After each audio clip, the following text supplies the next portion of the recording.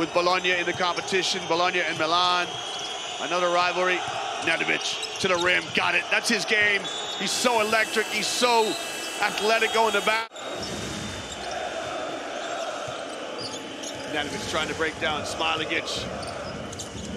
Pass to Martin, and Martin converts. So tack on the last points of the first half. The ball's in the hands of Nedovic. Nedovic goes right down Main Street for the score. And this will send both teams to the halftime changing room. Right now, everything is in front of Partizan. No questions asked of them. There's no penetration. Great cut by Nedovic. The floater is good. Great backdoor cut by Nedovic. Andjusic on the floor for Partizan. He's electric.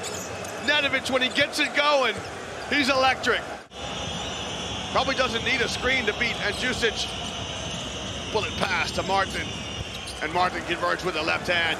Good combination between Nedovic and Martin. Everything running through the hands of Nedovic right now. Gets in the lane, nice pass and the stuff from Petrusev. What a great pass by Nedovic. The bounce pass is the scoring pass. I love that bounce pass. And so loud in here, he has to use hand signals to communicate the offense. Vildoza's the hot hand. Vildoza! With the tree play. Vildoza knocks it up at 73 each. And now Crvena Zvezda with a chance to win the ball game here. Here's your last possession of your game. Vildoza kicks. Nedovic rises. The Troika!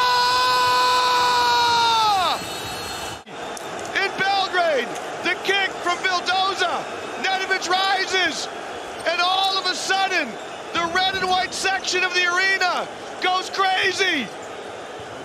Nedovic in the corner, let's fly. And he knocks down the Troika. Look at this, the Crvena Zvezda fans